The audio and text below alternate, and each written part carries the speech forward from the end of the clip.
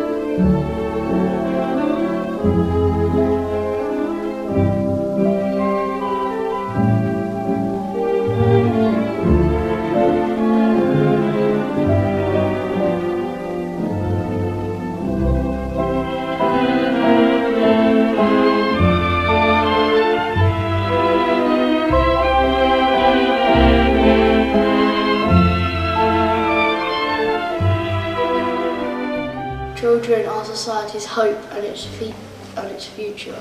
Today, with all of my friends in this film, We will show you many wonderful things. on a fantastic journey. That's never boring. More than a quarter millennium of child healthcare pathways. for children like us. At Northampton General Hospital. So come along and enjoy the ride. We have the most wonderful story to tell. We hear voices from the past as well as see films from long ago. And at the end, you'll meet Harry, who's made the music.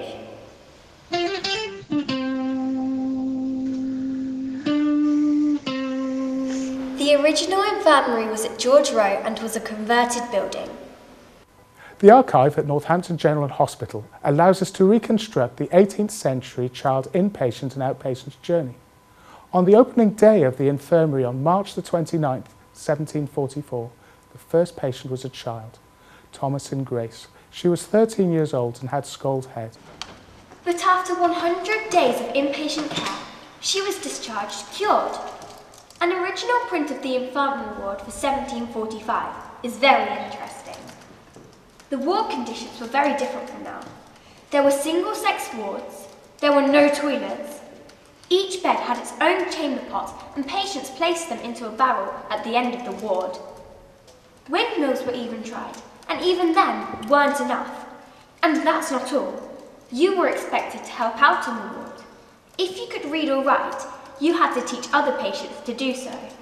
The patients admitted were suffering from poverty and years of chronic malnutrition. Children as young as two years of age were seen in outpatients and from eight years of age admitted. Like Thomasin, some of their symptoms have lasted many years. Pediatric cases up to and including 16 years of age made up 26% of the number of patients seen for that year. I found out that Thomasin had a younger brother called Thomas. On June the 21st, 1746, when he was 13 years old, he was admitted after an accident with a fractured thigh and arm. He was discharged on August the 23rd, cured. I wonder how he managed. I'm Maisie. I've helped make this splint. It's very comfortable.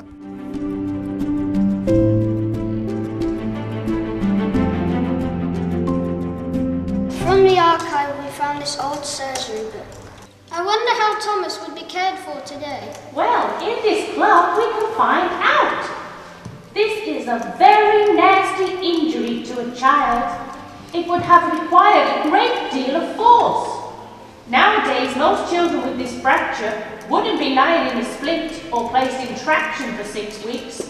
So long as the bone is strong, it can be done very much quicker and fix the fracture under anaesthetic.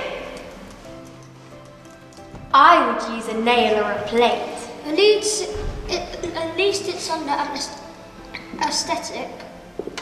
I'm not happy about this family story. It doesn't feel right. Emily, you're the oldest and interested in safeguarding. What do you think? So, we have two children, Thomasin and Thomas, both from the same family. One has serious injuries. fractures, and the other has chronic, severe neglect of 11 years. This would be classed as a safeguarding emergency. Sadly, I can't say that this wouldn't still happen in Northampton today. Today, children's safeguarding systems should let these children be identified far sooner and let the hospital be a place of safety. Effective interventions then put into place should allow these children to then grow up in warm, happy, and safe environments and have a full life. But it can sometimes work out extraordinarily well. Take Stephen. Hi, I'm Stephen. I want to be an actor when I grow up. And, well, I was adopted at a very young age and, well, wasn't expected to do much. But, thanks to the loving care of my parents, I managed to do quite a lot, actually. I have many dreams that I, I'm sure I'm going to be able to do. And, well, my consultant, Dr. Williams, said that this is, well, the most um, amazing change he's ever seen.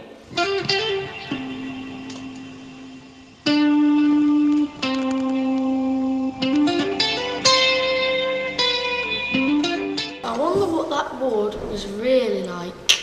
I'm an honorary member of Northamptonshire Film Archive Trust. My friends there saved a 1935 film about Northampton General Hospital. The children seemed happy there were toys. The matron is Miss Eleanor Hay, and her hat is called a wimple. She clearly knows what she's doing. Before the NHS was set up, hospitals were kept going by local funding. That young girl is called Sylvia MacDonald. Her son told me that she lived a full life and was a wonderful mother and grandmother. There's film of light treatment too for rickets. Paddington Paediatric Ward first opened in 1938. We have a film of Father Christmas coming to visit it in 1963 and giving out presents. There you see it. Father Christmas does exist after all. Funding always been a challenge. Florence, you've looked into this. When the Northampton Infirmary first opened, it only treated people who are too poor to be able to afford healthcare for themselves. To be admitted, admitted, patients needed to get two tickets of recommendations for subscribers to the infirmary. These extremely high mortality rates were mainly the result of infectious diseases worsened by smallpox ep- epidemics on a background of chronic undernutrition and poverty. Social conditions started to slowly improve, but the figure was still 188 deaths out of 100 children in 1878 Northampton. Things continued to get better for more than a hundred years until recently.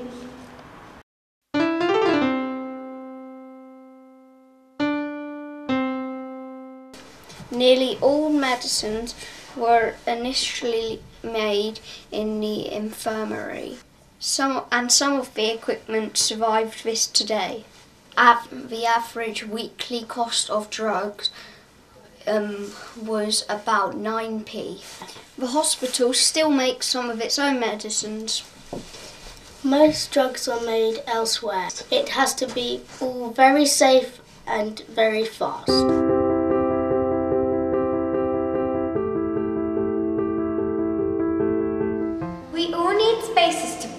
Play. The first infirmary had a herb garden, which was used by the apothecary to make medicine for the patients. In the new building, from 1792, there were intensive grounds that were originally used to grow food for the patients. We have some 1935 films of these gardens. Look at that! We can see large greenhouses. And look at the size, size of those marrows and that cucumber. You won't you wouldn't see that in the supermarket.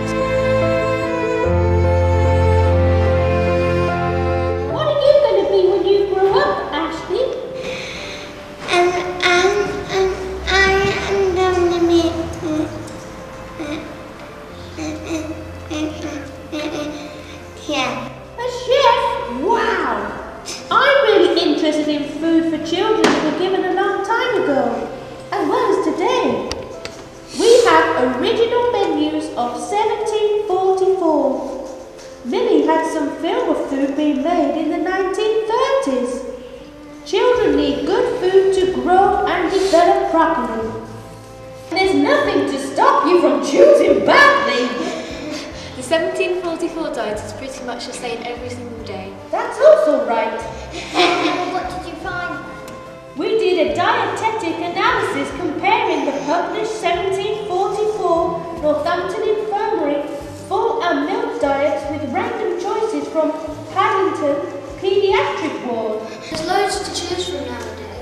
nutritionally, you do much better on the 1744 diet than you would nowadays.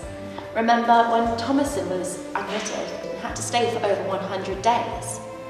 That diet and good hygiene would have cured her. However, on Paddington diet, if she chose badly, she wouldn't even meet minimal requirements for nutrition and her 100 day stay wouldn't have made her any better. So she wouldn't have got better? I don't think so, especially if she kept picking the jelly and vegetarian option. A while ago, we tried out different diets.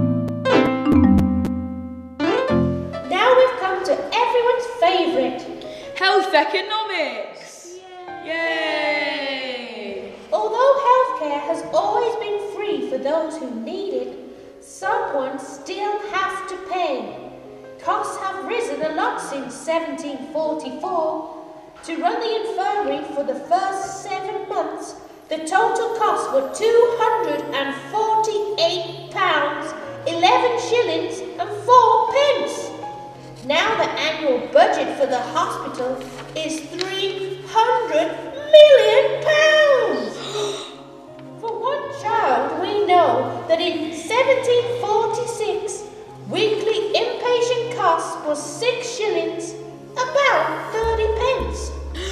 Now it's about 500 pounds for one entire day. Northampton has always taken children from outside the town. This Google map of 1756 paediatric admissions was done by our friend Raymond. The majority 80 plus came from central Northampton, with more than five from local areas that are now part of the town. These dots show distribution. It can't be coincidental that there wasn't a single village in the country that was missed out. I agree. The infirmary needed subscriptions from everywhere. If it was seen to be providing care for Northampton and ignoring smaller places, then funds coming from outside Northampton would dry up.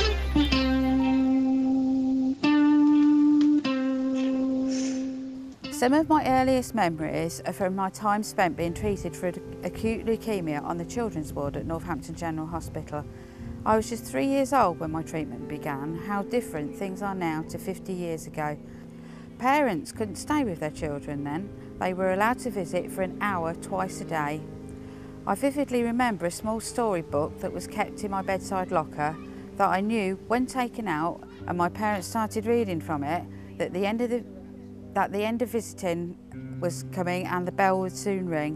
When my parents went to leave, I would follow them to the ward gate and would be left bereft. I remember screaming all the way to theatre for my lumbar puncture and bone marrow aspiration. I hated the horrid black rubber anaesthetic mask. I created such a fuss over the months that my doctor eventually agreed with my mum to do the procedure under local anaesthetic on the ward. I remember glass bottles containing IV fluids. I remember being one of the first patients to have radiotherapy at Northampton General Hospital. I remember having ice cream with custard on at lunchtime. I remember being taken to the post-graduation centre to be exhibited at the Grand Round. I remember when I was 18 being told that I could poss not possibly have had acute leukemia at three because I wouldn't have survived. Memories that could have given me a fear for all that is within a hospital, yet here I am.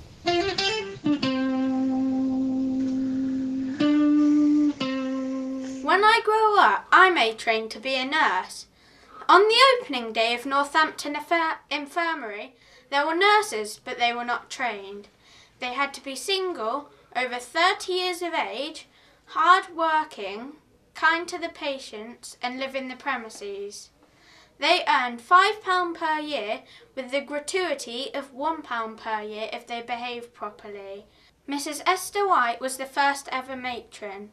She earned £10 per year, which included board, lodging, and tea allowance. The job of the matron then and now is extremely hard. Mrs. Esther White died still in post 1751. Things moved on and the nurses began to be professionally trained. Miley has found some films of nurses being trained in the 1930s. The hours were long and you earned one day off a fortnight. Nurses' accommodation at that time was very simple. I know that I will have to work hard in school, university, and the wars to become a registered general nurse. They are true professionals. Initially, surgery was limited to treating fractures, resetting bones, like Thomas Grayson in 1744. Some of us here have had hip or spinal surgery, but now they're okay. Look at Lucy. Lucy, Lucy, Lucy, Lucy, Lucy,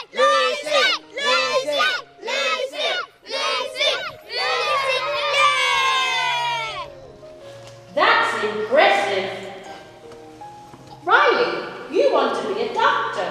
That's right. Well, tell us about the NCCF. The Northampton Crippled Ch- Children's Fund treated more crippled children more than 100 years ago. Can we say crippled in this film?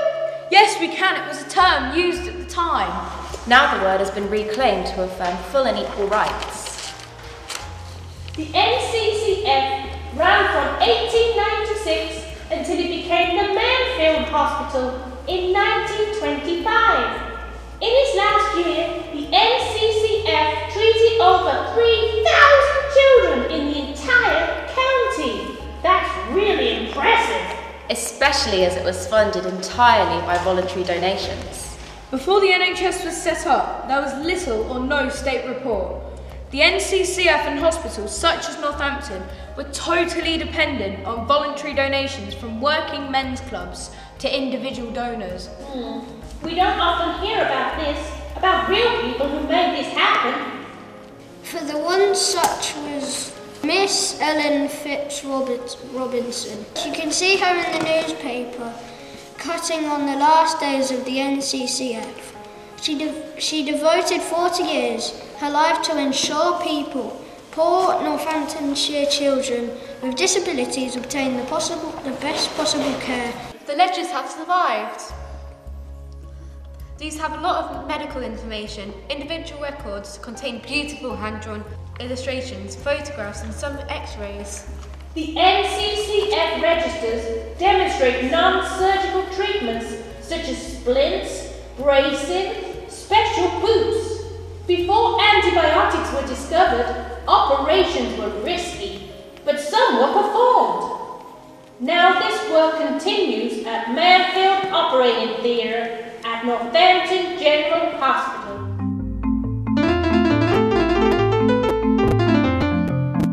Edward Jenner's 1798 discovery using cowpox inoculation meant smallpox mortality fell from 31% and small and un, unvaccinated children uh, compared to the 1.2% to the inoculated.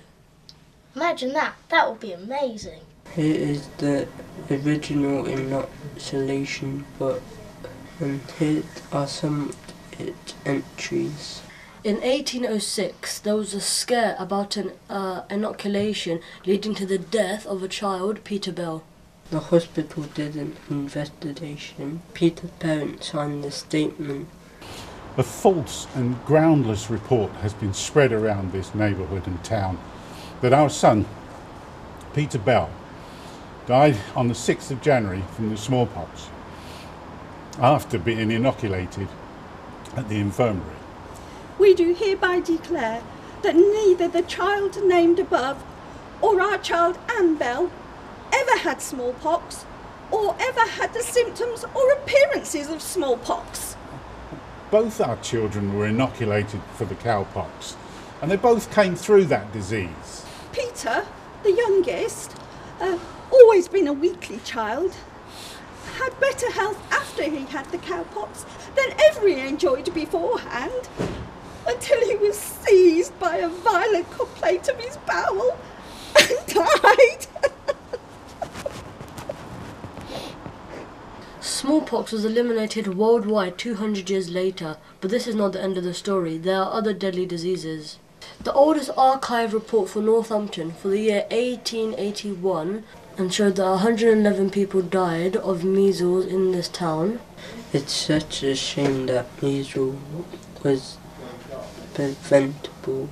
Nowadays, we are protected from a whole range of killer diseases. Living in Northampton, like the rest of the UK, we're not really used to seeing these diseases. So we, we can tell these diseases are very devastating and that we can lose sight and that the vaccines are important. If we just took measles in the 1960s, here in the UK, there were hundreds and thousands. But immunisations just reduced this to hundreds. I don't like needles like anyone else. Trust me, he really doesn't like needles. I was brave to, to have the jab to keep me safe.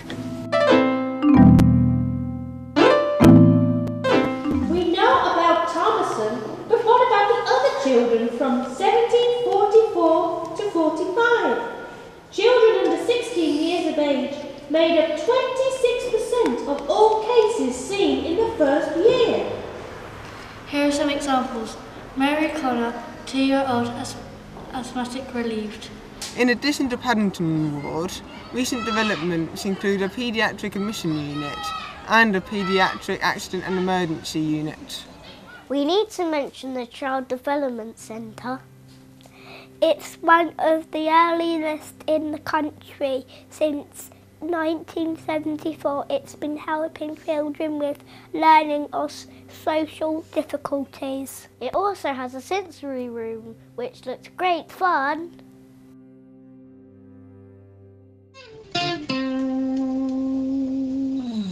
My name is Stephen. I was born 11 weeks early and I'm alive because of premature baby units in Northampton. There was a premature baby unit from 1947. At that time, a premature, a premature baby was defined being under five and a half pounds. It shows the full premature baby care pathways from that time. Jaundice, yellowness in newborn babies, is very common, but it sometimes can cause serious problems, Dr. Gosset invented an icterometer. leading to an important 1960 Lancet publication. It was placed on a newborn baby's nose, and any yellowness, jaundice, matched to the one of these yellow strips. It was quick, effective, and saved a lot of unnecessary blood tests. And there was worldwide interest. And our friend Claire has met the correspondent. That shows us how international medicine is. We can forget how quickly things have changed.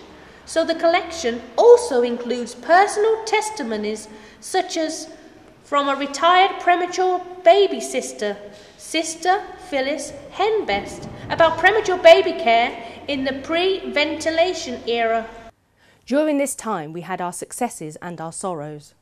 We had so little we could do for so many babies, especially the preterm babies. The leading authority at the time advised us not to feed the small premature babies for five days. I only had the courage to do that for three days. There was no means of assessing oxygen in the blood. Apart from babies of the diabetic mothers, there was no investigation of blood sugar or calcium levels. Dr. Gosset set up the premature baby unit in Northampton, which was named after him. His daughter remembers taking this photograph in the garden terrace of his home Vigo house. It was taken where the Cripps Centre was now. It was a late spring day about tea time. Premature babies like me are alive because of modern intensive care. Survival and outcomes have improved enormously over the last 50 years. However, it's not all about modern equipment and treatment. We now know that gentler care practices and keeping the whole family at the centre of what we do offers the best environment for the baby's development.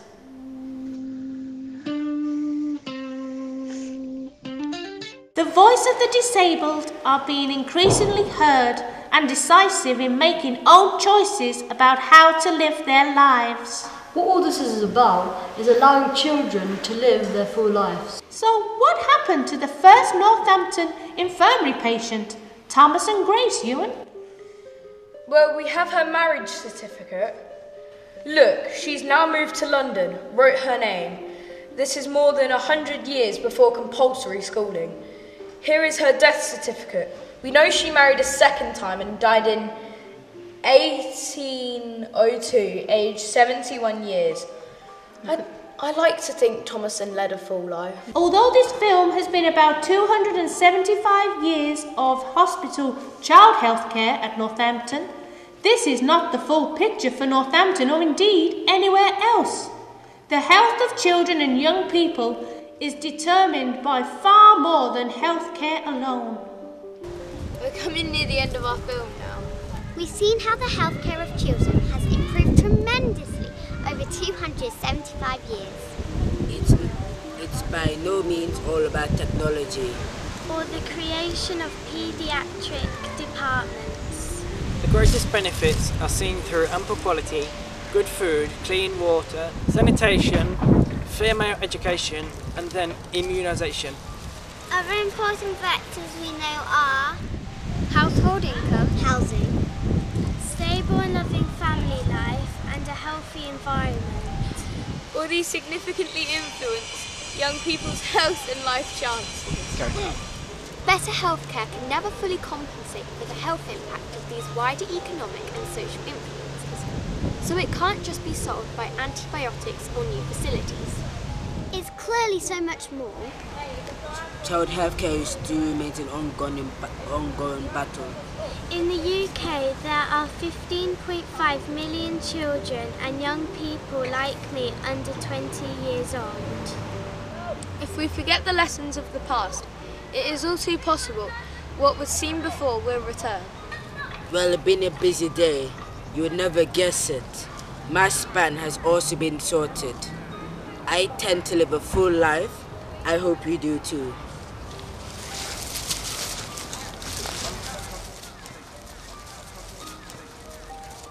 There's still far more to learn. When my consultant first saw my brain scan, he feared I'd never walk, talk, or live in walk, talk, see, or live an independent life. My consultant didn't understand and put this down to the selfless love of my parents. Stephen! Sorry, gotta go.